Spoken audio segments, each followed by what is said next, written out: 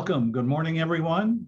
This is Think Tech Hawaii, the rule of law in the new abnormal. Today's title, such as it is, is Sea Change, S-E-E, comma, Sea Change, S-E-A. We'll see where that goes. We have the honor of having with us Professor Emerita Vernellia Randall from University of Dayton School of Law, Professor now Emerita Emeritus Ben Davis, U of Toledo School of Law, Dean and Professor, also Emeritus, I believe, um, Jim Alfini from North Illinois and South Texas Schools of Law. Jeff Portnoy, our leading First Amendment and constitutional expert, and also color commentator for the UH basketball team for a number of years.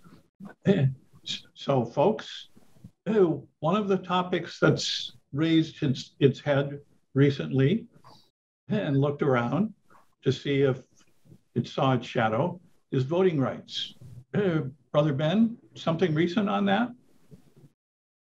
Well, I, I watched uh, Senator Warnock's uh, maiden uh, speech on the floor of the Senate, uh, and uh, it was really something to to listen to.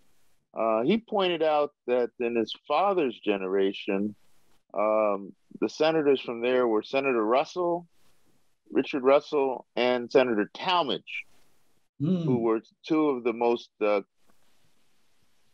pro segregation senators of their time. And the fact that Senator Talmadge's dad, who had been the governor of Georgia, um, you know, had once said that, you know, no blacks will vote here. And somebody asked him, well, how is he going to deal with that? He wrote down one word on a piece of paper pistols. you know, so, you know, the, the, just the concept of what uh, uh, it means to have uh, Senator Warnock as a, as a black person representing Georgia. And he also talked about Senator Ossoff as a Jew representing Georgia. How amazing that really is uh, in this country. And uh, and he was very, you know, the emphasis he put on is that this is the greatest uh, uh, anti-voting effort, a voter suppression effort uh, since Jim Crow times. He put it, he put it right there, and uh, you know, he's talking about sort of the civil rights movement, and one of the interesting issues is to what extent the private sector is going to step in and and say things. And then you know you kind of got a little mealy mouth stuff from Coca Cola and Home Depot right now, as opposed to sort of a full throated, you know, support for the various bills. And then another game that we're seeing right now is the sort of the whole filibuster game, which is like we're going to get rid of the filibuster rules. You know, it's okay to vote for it. you know, you can have more than sixty people vote for the for the, for the legislation that's being proposed.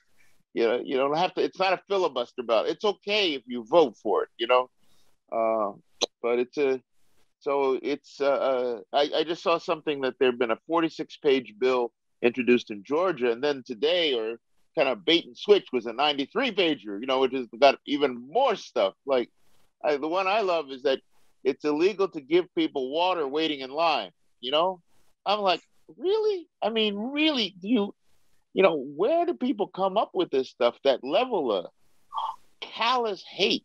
You know, that you're going to really, you know, thinking right down to the who's standing in line and what they're going to have as water. I mean, it's just, it's shameful. It really is shameful. It's, no, no Sunday voting, right? It closed down the souls to the polls that many, many black churches helped to generate. Eh, and maybe the yeah. 46 pages got to 93 because they didn't notice it was front and back. What you need to remember, what you need to remember, everybody, is that these people who are introducing the bills were voted in by a yeah. majority of the people in their district. So, you know, this focus on the individual who introduces the bill is really mis, mis leading in the wrong direction. They are in their own minds representing the people in their districts. That's the scary part. That's the scary part. Well, Jeff, you have to acknowledge, though, give them some credit.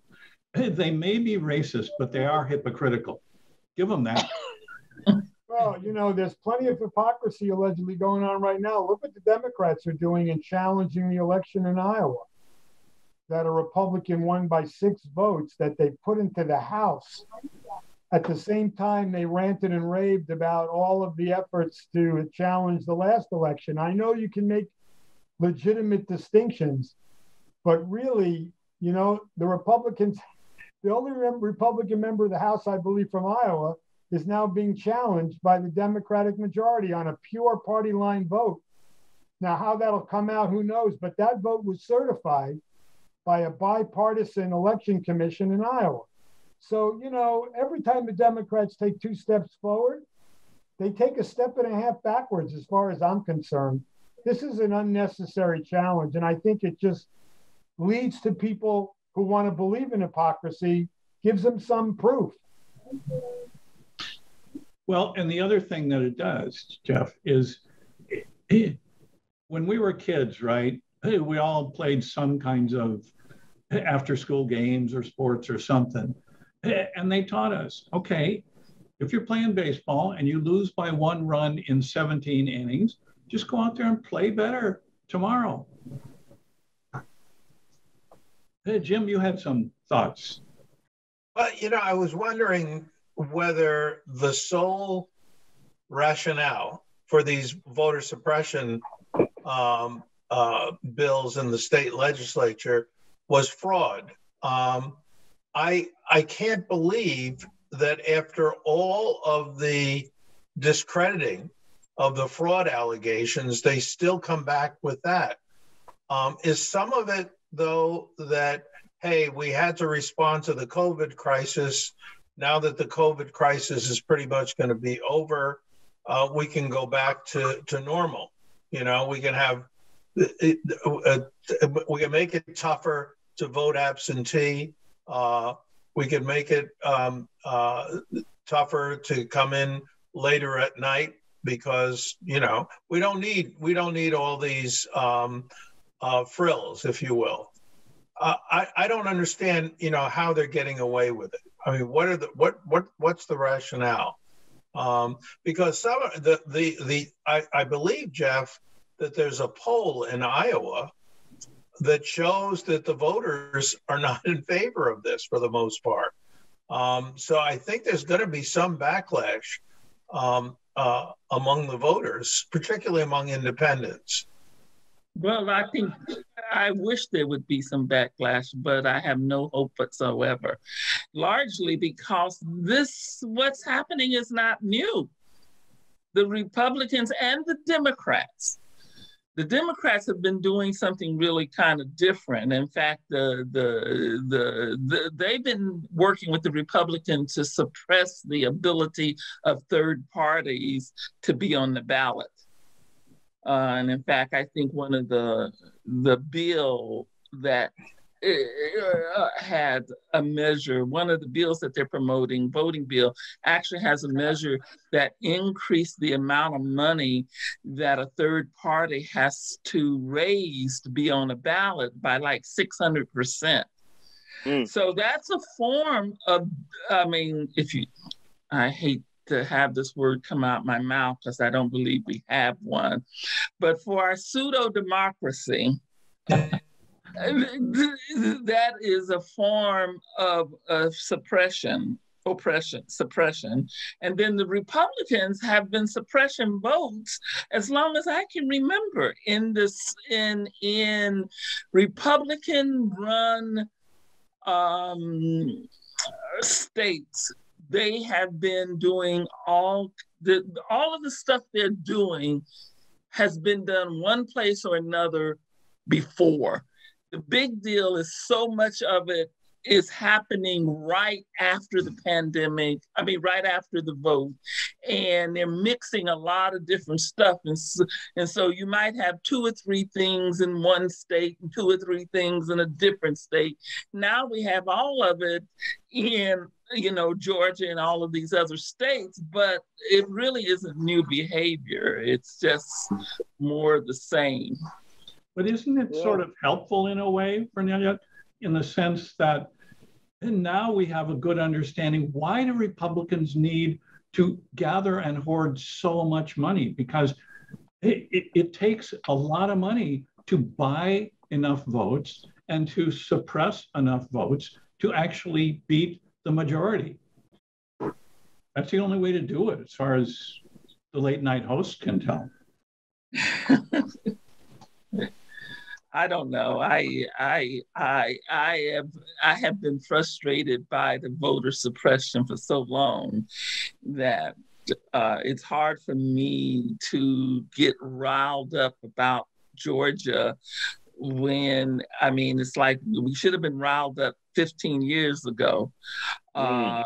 uh, and and stopped it then and um, we wanted to be play nice so we didn't do it now it's interesting it goes in conjunction with the i you know i uh, you were we were saying last time that uh, uh, getting rid of the uh, filibuster. I, I, I, I mean, I'm, I don't, I think they should get rid of it. But if they don't get rid of it, I think they should make it harder. They should go, go back to, you know, they should not make it so easy where all you have to do is voice the idea and that you're going to filibuster and then shift the responsibility to get 60 votes, then there has to be some actual filibustering of some kind that goes on. well, the rules of the Senate are so arcane and so undemocratic. Filibuster is just one part of it, and it's the one that people can grab onto because it's so hard to understand all the other rules of that institution. And, you know, as McConnell said the other day, even though, you know, it was a threat, do away with the filibuster. He can keep the Senate from ever even going into session because their rules are so bizarre. You know, I mean, uh, uh, they could make a rule that said you can't go into session unless you have a quorum. And you know how rarely that is, that they mm. have more than two or three people on the floor, et cetera, et cetera. So, you know, I think the filibuster has just become a focus and uh, uh, of the, of really again how arcane the Senate rules are, starting with how they get elected, two from every state, regardless of your population, yeah, to the way they operate on a daily basis. It's very undemocratic.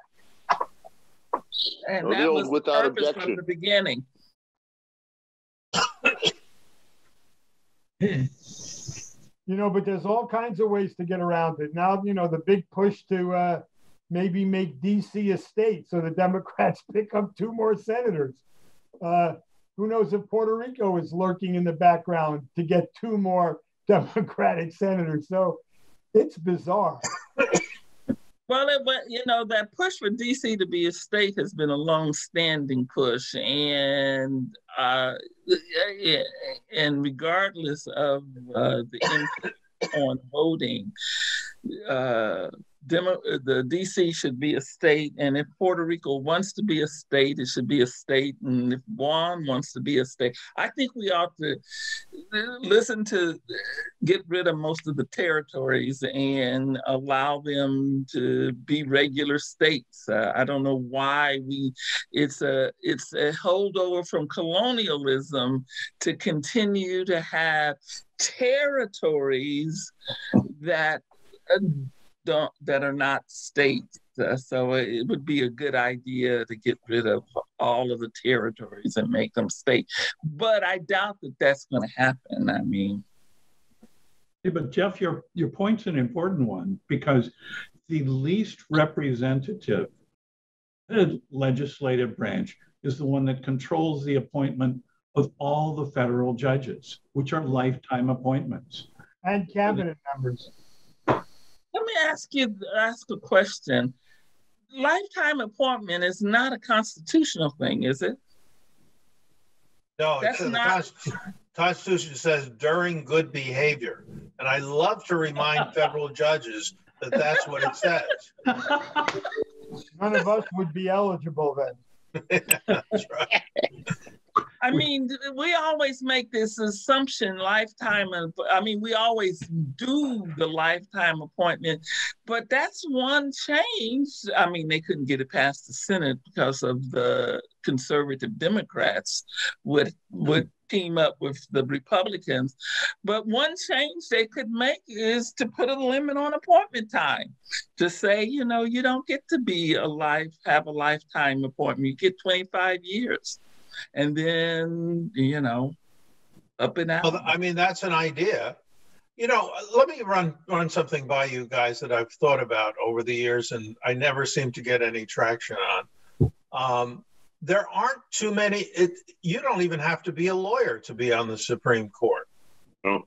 Wouldn't it be interesting to have an informed person who's not a lawyer on the Supreme Court to keep the lawyers you know, um, uh, straight there. Uh, I, you know, I was thinking of, you know, a prominent journalist who writes about the law, you know, would have sort of the same qualifications.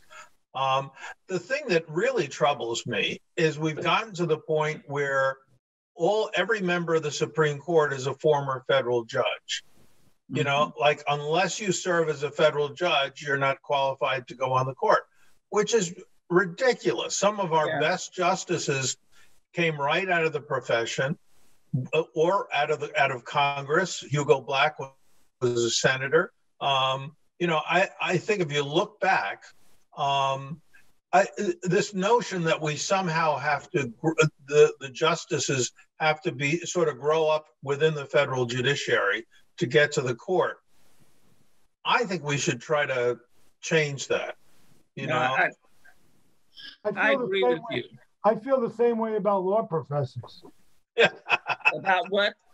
Law professors. Law prof- We'd be better off if they didn't have law degrees and we just allowed anybody to get up there and teach. Don't you agree? Yeah. Well, to tell you the truth, I think legal education is overrated and designed to be difficult so that people will think lawyers are smart, but that in truth, it is a decent education that ain't as difficult as it, it as it uh, as, it, is structured to be. And yes, I think some non lawyers could do a great job of teaching lawyers because we don't actually teach them to practice law, we just teach them substantive. And so, why couldn't some non lawyer who knows the law get up there? And many law law professors, I don't know whether this is still true, but many law professors don't even really, you know, they come out of three years practice in a firm. Huh, that was me. Hmm, what does that mean? A large firm, it means you run errands. so, one of the things that we noted was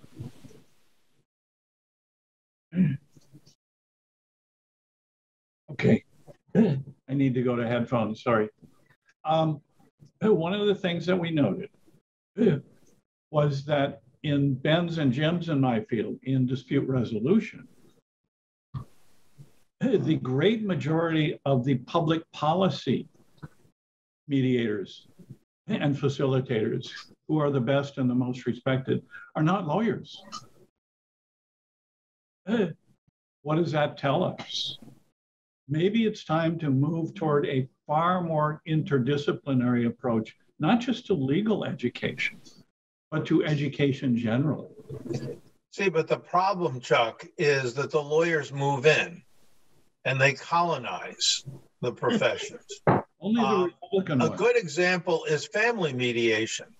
When I first started in the 80s, most of the family mediators were mental health professionals. They were, you know, psychologists, um, uh, psychiatric social workers, or what have you. That's pretty much gone by the board because the lawyer, now that mediation is popular and you can make money doing it, the lawyers have moved in and they've colonized that profession. So we we need to shame the lawyers, really. Well, the legal profession, unfortunately, is based on winning, winning and losing. That that's the that's the bedrock of the legal profession. Your job is to represent your client, whether it's in litigation or transactional or whatever, and win. Whether you win in court or you win in mediation, quote unquote, or you win in drafting a real estate deal, that may not be the best way to resolve conflicts. Well, you're speaking to the choir here. Yeah, the tone deaf choir, but the choir nonetheless. but but the other good I point that think is that a function. I just gave a, a talk to you, New Hampshire, and I basically uh, University of New Hampshire. I basically argue that there really it really is time for legal education to relook at itself, and lawyers to relook at itself and rethink winning as the sole goal of uh, as opposed to dispute resolution uh, in, in, a multicultural multi-ethnic value system where you have uh, a lot of different value systems uh, and we have to live together having a lawsuit or having a, a process where one person wins over the other and that's the goal may not be all that conducive to maintaining relationships. And lawyers may need to help maintain relationships as a goal as opposed to winning. Well there's another point that flows from what you folks just said which is if you look at what mediation, dispute resolution, arbitration have become is basically a competitive sales industry in which people bring their conflicts, their disputes, to dispute resolvers who sell them solutions that they craft, and they're known as closers and they're known as deal makers and all that stuff. Let me, let me ask you guys a question. Getting back to politics, maybe we should have a group of mediators who work in Congress. You know? Because it's not working the way it is with two political parties completely at opposite ends. Maybe we should have, I know this is just ridiculous, but maybe we should have a federal law that appoints 10 mediators who work either for the House of Representatives or the Senate, and their job is to bring about uh, uh, uh, agreement on any particular issue. Right. And we impose a requirement of good faith negotiation on the parties as well. So mm. we'll see how far that goes. But but the other part that comes out of this, and Jeff, you're going right at it, and I like that, is that uh, while commercial mediators are great for individual commercial problem solving for pay, they are not so great generally at systemic problem solving. Whereas the public policy facilitators and mediators, right? The Peter Adlers, the Ann Goslines, the Susan Podzibas, the Ken Cloke, Larry Susskind. Larry Susskinds, yeah, Lisa Bingham Amsler. You know, these, these people grasp and do that. And we are not engaging in system design conflict prevention, management, or resolution. And Jeff, exactly what you're talking about is that systemic conflict prevention and management and resolution vehicle. Hey, well, I, I, think uh, I think Vernelli had put her, her finger on it. I think we need to change the lawyering paradigm so that you know people are trained in law schools to be problem solvers, not to be, you know, white knights on or white whatever the metaphor is, you know, out to you know win justice. Um, Sir Lancelot. Mm-hmm. yeah, yeah. Um, but I, I, I, I think that problem solving paradigm needs to be, you know, the business schools have gone in that direction. The law schools need to. Um, but that's a that's a hard sell. So as we move into our last three minutes, yeah, go. Jeff, Ben, somebody was going to say something. Wasn't me. Well, uh, how do you say her last name? The new Secretary of Interior. Haaland, Deb Haaland. Haaland.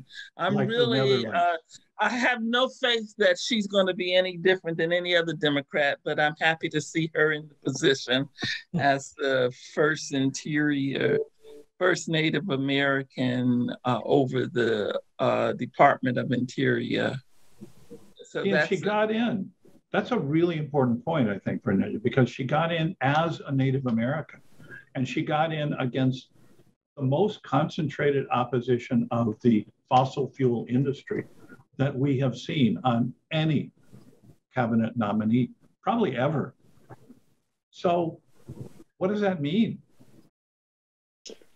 Well, I think uh, means there won't be any pipelines along across Indian reservations. I, I, yeah, we'll see. I think it means the fossil fuel industry is in a weakened state right now. They, you know, they're they uh, they're they're they're not riding as high as when the the cost of fuel was much much higher. There were wars in certain places that led to the sort of risk pricing at a higher level. So you don't think, think that might be one part of it. You don't think an eight thousand dollar electric bill for one day is too high? Isn't there some irony in that the power outage was in the big fossil fuel state? Absolutely. Uh, oh man, I'm telling you, it's. So Ben, question. Yes. How how is Mitch going to do scorched earth without fossil fuels?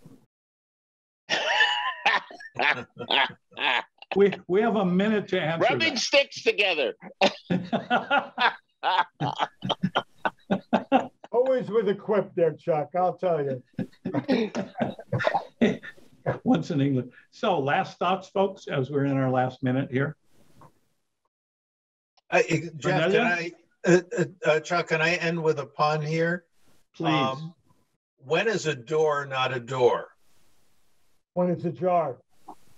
Very good, Jeff. When it's a what? when it's a, a jar. jar. A, oh. a jar. A jar. Oh, I get it. now I thought I made that up, but maybe you know, maybe you're just that good, Jeff. Yeah. And good one. No names. No names have been called. Jeff and Ben have emerged unscathed thanks to referee Jim. Woo! And what? thanks to the guidance. I'm after you next time, Jeff. I got you, man. I was going to pick on James for talking about a white knight. I was surprised that somebody didn't respond to the first word in that two word phrase.